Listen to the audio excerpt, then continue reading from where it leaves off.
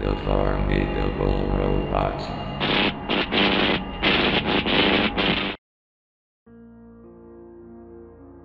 I've been a Toy Story fan ever since I watched the Pixar shorts and trailers for the first movie. I thought the toys were funny. I got a kick out of watching Sarge and his comrades stumble across surfaces with their plates attached to their little green legs. I loved it all. When the second and third movies came out, I worked overtime to get tickets because I was that crazy about the movie. After Toy Story 3, I had stopped thinking about it and moved on. About a month after Toy Story 3 had moved onto DVD and Blu ray, I went to buy a copy on the internet. After searching for 20 minutes, I found an advertisement for a box set with four movies. I couldn't remember a fourth movie, but I bought it anyway. I paid only $10 for the thing, so it didn't really matter to me. About a week later, I had received the DVDs in an unmarked package, with only the send address on a white sticker and one word written on the top of the box. Toys, in messy writing. I brought it inside and took a knife to the tape and it came off easy as pie, and pulled out the movies. In the package was a DVD collection of Toy Story and its sequels, a black DVD case, and an old musty Woody doll with his left hand chewed off.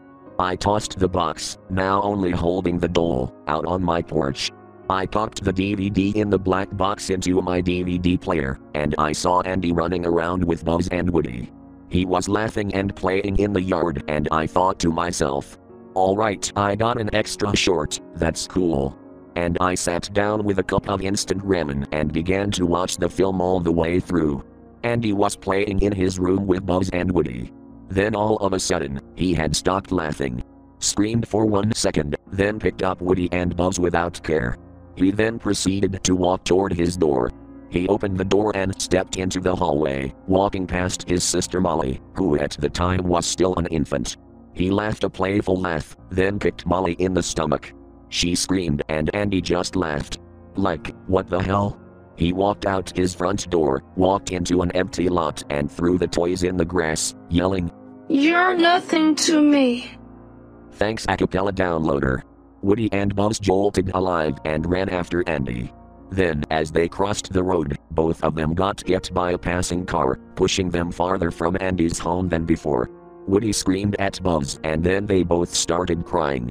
Woody then pressed the purple button on Buzz's helmet, retracting the face shield.